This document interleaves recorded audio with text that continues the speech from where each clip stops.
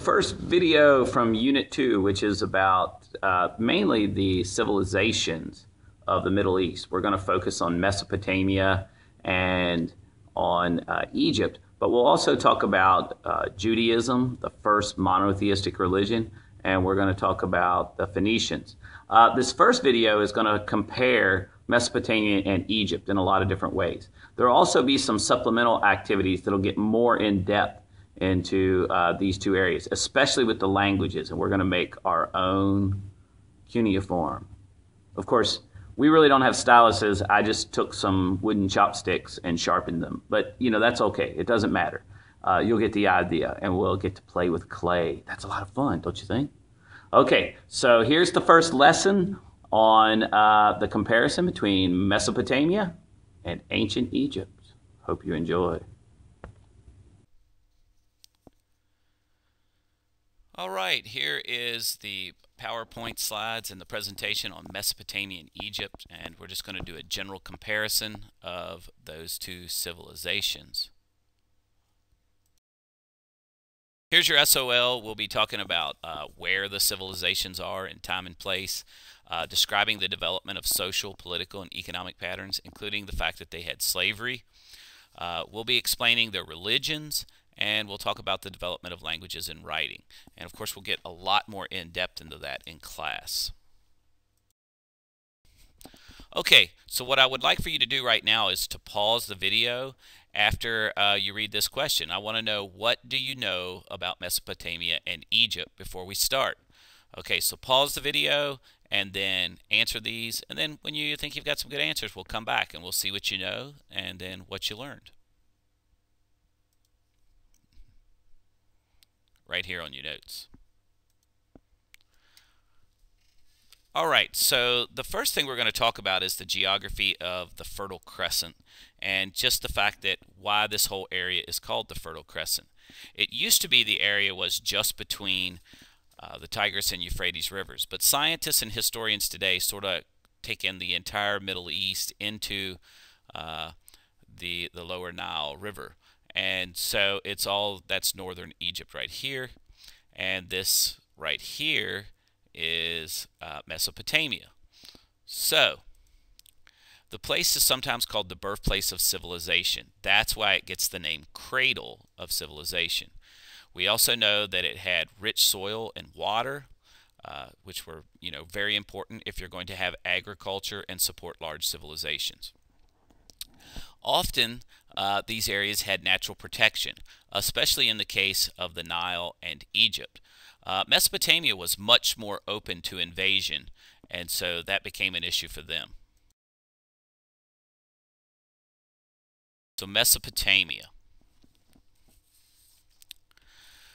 First, let's break down the word. Meso means middle. Potamia means rivers.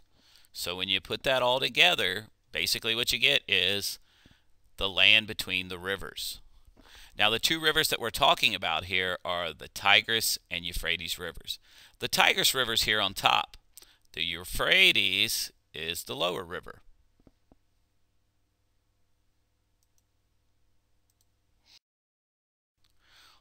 Again, after you read this question, please pause the video and try to answer the question. And I'm asking you why you think the Fertile Crescent is the uh, cradle of civilization. Why does it have the name Fertile Crescent? Okay, pause the video and answer right here.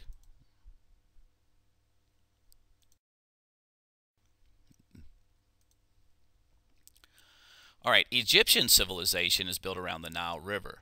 Now, uh, as you can see, not much exists very far away from the river, and there's reasons for that. Number one, the, the Nile is the world's longest river. The Amazon has the most volume, but in terms of length, the uh, Nile has been declared the winner of that battle. The Nile River, just like the Shenandoah River, flows north. And it is surrounded by deserts. That's that natural protection that we were talking about. Uh, the Sahara Desert, which is the world's largest desert, and the Arabian Desert made it very tough to invade Egypt. If you look at the satellite map up here, you can see right along the river is very green, and uh, beside of it is certainly certainly filled with uh, a lot of sand and desert. Okay, so again, pause the video after you read this question. Create some reasons for what you see uh, in the satellite picture of the Nile River Valley. Why is it like that on the satellite picture that you just saw? Right here on your notes. Okay, so let's talk about some of the positives and negatives of Mesopotamia. Some of the positives. It had fertile soil for growing crops. It had a great water supply for transportation and survival. And it was at a great location for trade. Now, what were some of the negatives of the geography? It flooded irregularly. And so the people of Mesopotamia never knew when this was going to happen. And because of that, they were very open to invasion. And as a matter of fact, it will be invaded over and over again. Because of this, the people of Mesopotamia are going to be pessimistic. In other words, they're going to see things in a negative light. Uh, but that can happen to you when a lot of bad things happen over and over again. When you get this a bunch,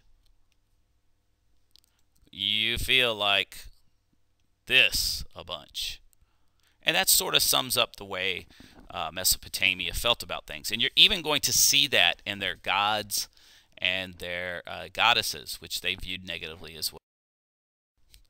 Okay, so what are the positive and negatives of Egypt?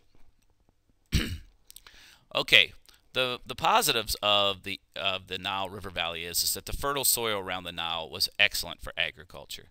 They had a great water supply around the river. And this was something that was very important. The river flooded at the same time every year. The Egyptians knew it was coming. And as a matter of fact, that is what left behind a very rich soil called Kemet, which they grew their crops in. But because of this, it allowed the Egyptians, the regularity of this allowed the Egyptians to be a very positive people. Now, one other really big positive for the Nile River Valley is it had natural protection. The deserts could be a negative, but they were also a positive. It's hard to bring an invading army across big deserts. Also, the cataracts provided protection. What were the negatives of the geography? The only really good soil for growing crops in is right around the river. So your growing is somewhat limited. Dry seasons can be very, very long uh, around the Nile River. And so irrigation became necessary. And some of the irrigation projects were quite, quite extensive. Trade could also be tough because the deserts that kept armies away sometimes also kept trade caravans away. But the bottom when you're a positive people, you feel pretty good about things. And that sort of sums up the Egyptians. They were very, very positive people. Right, if you would, in this little chart on your notes, answer the question about what are the advantages and disadvantages of the geography of both Mesopotamia and Egypt. Okay, so what were the big ideas of this video? What did I want you to get out of it? Number one, I want you to remember that the Fertile Crescent is where civilizations start. The second big idea is that Mesopotamia was open to invasion because it had almost no natural protection. And the third idea is that Egypt, Egypt had a great deal of natural protection with its deserts and cataracts. All right, hope you enjoyed the video. Please keep uh, watching, keep up with your notes. See you at the next one.